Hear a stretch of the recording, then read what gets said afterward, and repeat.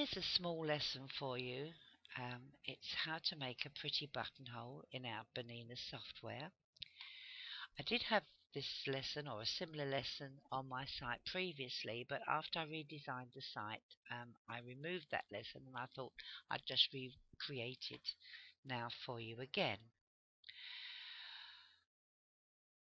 In version 6, um, we haven't got it here in the UK just yet, but it's coming very shortly. But I know the US have got version 6. Once you've made your buttonholes, there's now an option where you'll be able to space your buttonholes evenly very quickly. So that if you're making a series of buttonholes for the front of a blouse or whatever item or garment you're making, you'll be able to space them out very evenly and very quickly. So how did I make this buttonhole? Well, first of all, let me bring up a new page. And the first thing I want to remind you about is the display setup. This is so important and if you've had to reinstall your software at any time or maybe you're installing it on a, a new computer, please do remember to calibrate your screen. By that, you get a plastic or wooden ruler, not a metal one, a plastic or wooden one, and you measure from the very outside edge to the outside edge and type those millimeter measurements in. And then you do the same for the top to the bottom and type in the height. And then you press OK. And the reason is you must do that because if you haven't calibrated your screen, your uh, designs could become out larger or smaller than you anticipated. So this will make sure that you get the correct size.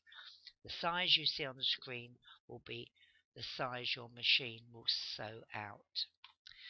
Okay, now the next thing to do is to choose the closed object tool.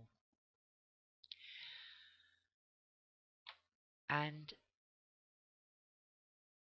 starting here I'm going to do a left click and all my clicks from now on will be left click. So these are the left mouse button. And if you hold down your control key you can get nice straight lines because it will snap them to the grid.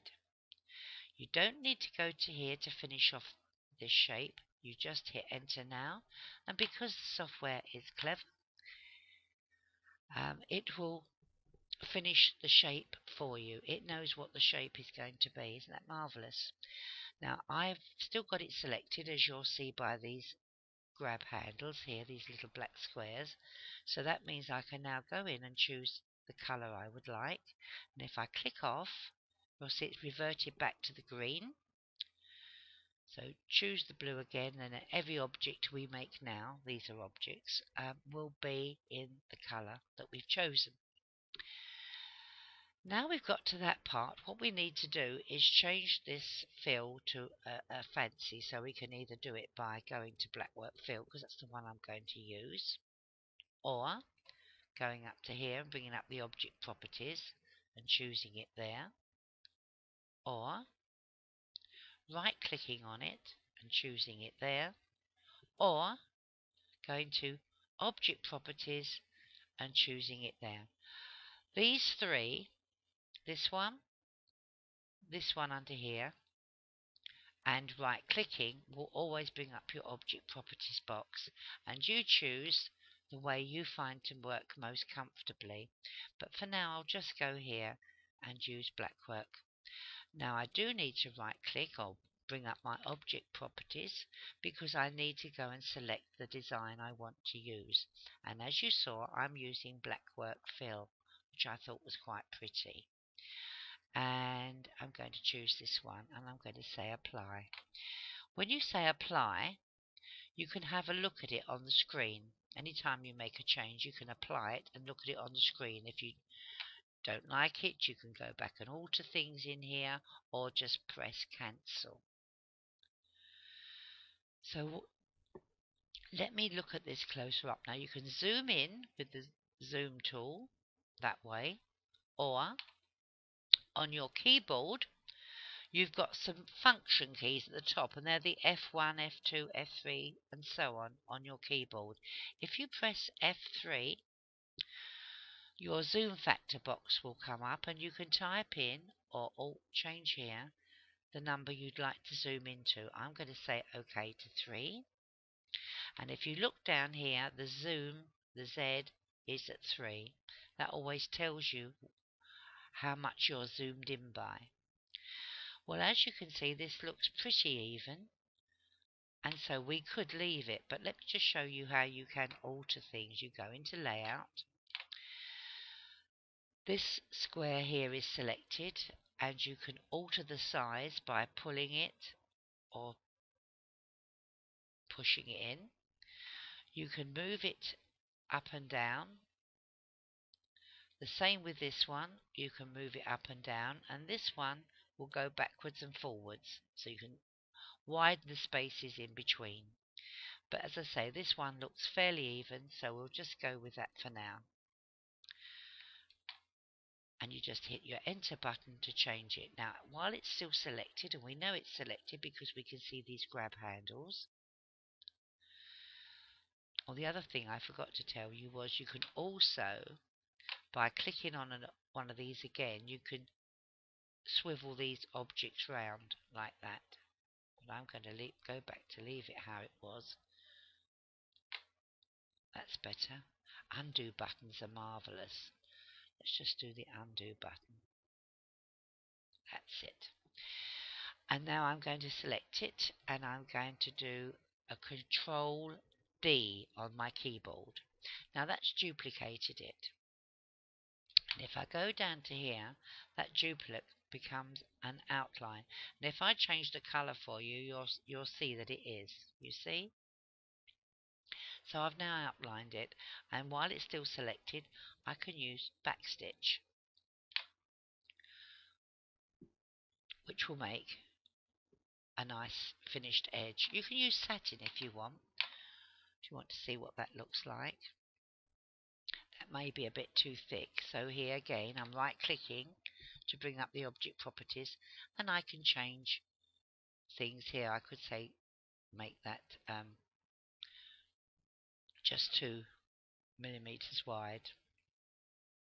But I'm going to go back because it may look uh, more dainty, this stitch. Now we need to put our buttonhole in. So you just click off of there. Up to arrange, add buttonhole and here I've got a square one and I'm just positioning it as closely as possible so that it matches. And then I hit my escape key to get rid of we don't want another buttonhole. And while that's still selected I can remove the overlaps. But before I do that I just want to check. Now if you bring up if you right click again, object properties or um, this button here or under settings, you can choose the type of buttonhole you want. So let's choose this one and say apply. I don't care for that one very much. I think I'll keep to this one. If you right click again. You can have the slit length different. The beads, that's the satin. The beading, let me just pull this over a little bit more so you can see. The bead spacing is here, so that would open up the zigzag here. on. You can have it vertical or horizontal. If I click apply, you'll see what happens. You see it's gone that way, but I'll go back, and apply it there. And you can choose from these buttonholes too. If I click apply, you'll see that doesn't look very good. Or this one. So you choose the one that you feel is the one for you. And then say OK. And then you have some arrow keys in your keyboard. Now we're just going to refine this a little bit more. You'll see the center line is nearer this side than that side. So with your arrow keys and the buttonhole selected, just I use my left arrow key there and it you can use those for very small increments. The top and bottom, I'm just going to use that one and that just moves it up enough. Okay, now I can say remove overlaps and now you can see that, center stitching has been removed and that is how you can make a very pretty buttonhole.